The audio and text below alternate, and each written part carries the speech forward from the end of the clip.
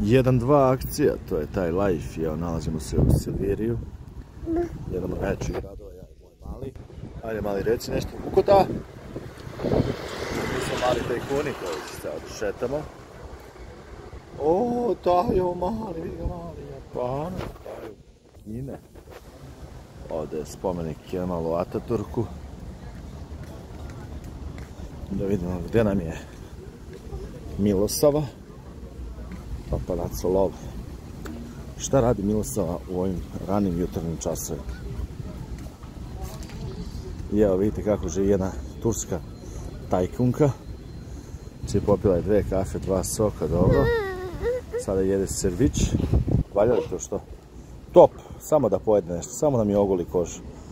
Nije da vidim njenu facu polete. Sreću.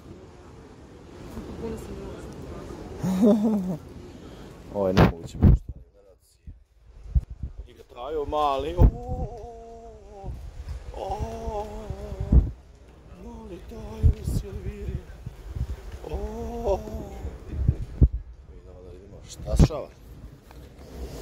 Opa, Stani majmun. Mali tajo majmunčić. Vidimo kakav je ovo grad. Da li ovdje bogati. Ili siromašni.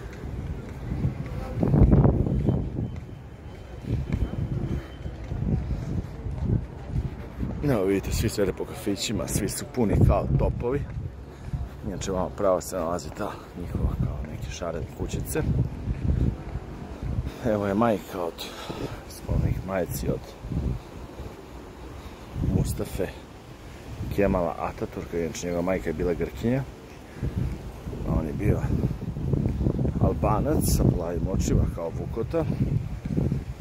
Međutim, odrastao i žive u Makedoniji. Šta je mališ?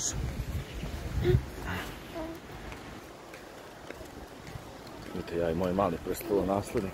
Vidiš sebe, ajde mali, vidi se. O, vidiš. Vukota. O, mjau, mjau. O, je mali nudista. Yeah. Vidite kakav je to mali gušati majmun.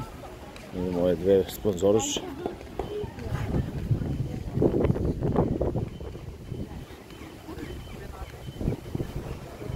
Ja, mator.